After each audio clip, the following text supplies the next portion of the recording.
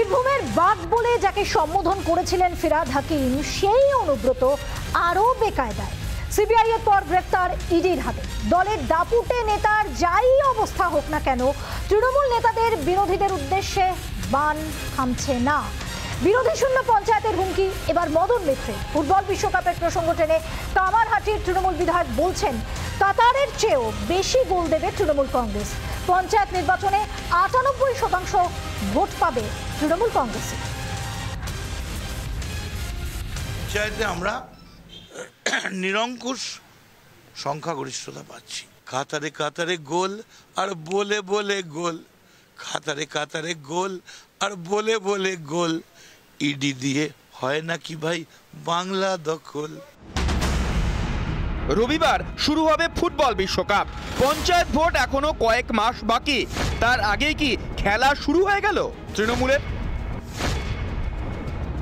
বিরোধী শূন্য পঞ্চায়েত ভোটের হুঁশিয়ারি দিয়ে কামারহাটির তৃণমূল বিধায়ক এখন থেকেই ধরে নিয়েছেন, প্রায় সব আসনেই নাকি তৃণমূল জিতে যাবে। তাহলে কোন জাদুতে?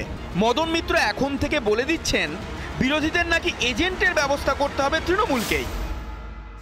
আমি আবার বলছি তৃণমূল কংগ্রেস আটানব্বই শতাংশ, সাতানব্বই পয়েন্ট ফাইভ হতে পারে।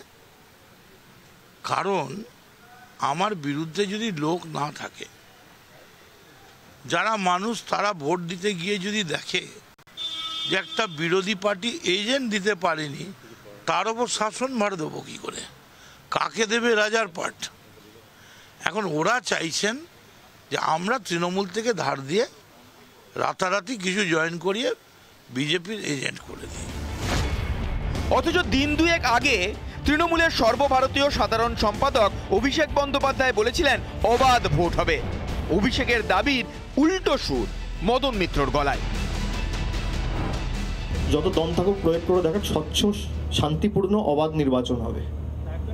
এবং সেই বার্তা মুখ্যমন্ত্রীর তরফ থেকে প্রশাসনকে দেওয়া হয়েছে। পঞ্চায়েত ভোট যত এগোচ্ছে ততই বিরোধীদের উদ্দেশ্যে তৃণমূল নেতাদের বাড়ছে শাসানি হুমকি। এই নিয়ে কড়া জবাব দিয়েছে বিজেপি। একদমই রক্তাক্ত পঞ্চায়েত হবে এবং মানুষ দেখবে এবং মানুষের সাথে আমরাও সেই রক্তাক্ত পঞ্চায়েতে চোখে চোখ রেখে আমরা মানুষের সাথে লড়াই করব। দলের শীর্ষ নেতৃত্ব যাই বলুক উদয়ন গুহ থেকে মদন মিত্ররা বুঝিয়ে দিচ্ছেন তৃণমূলের খেলা শুরু হয়ে গেছে। তাহলে কি নিচুতলা শুনছে না নেতৃত্বের কথা? নাকি এটাই শাসকের কৌশল? রিপাবলিক বাংলা।